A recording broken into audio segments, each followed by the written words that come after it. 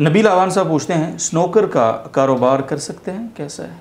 जी snooker में आम तौर पर ऐसा होता है कि जुआ या शर्त लगा कर खेला जा रहा होता है कि जो फ़र्द हार जाता है या जो टीम हार जाती है उसकी ज़िम्मे उसकी कीमत की अदायगी लाजिम होती है। तो जो कीमत इनको दी जाएगी तो उसका माना ये होगा कि जुआ की रकम दी जा रही है। तो लिहाजा स्नोकर को आमदनी का ज़रिया बनाना ये जायज़ नहीं है।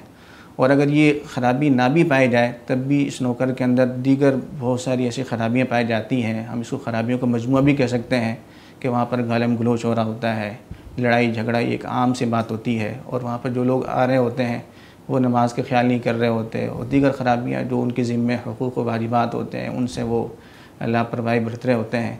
तो इन जैसी ख़राबियों का मजमू होते हैं। तो इसलिए इसको आमदनी का ज़रिया बनाना, अगरचे वो ख़राबी ना पाई जाए तब भी ये मुनासिब मालूम नहीं होता।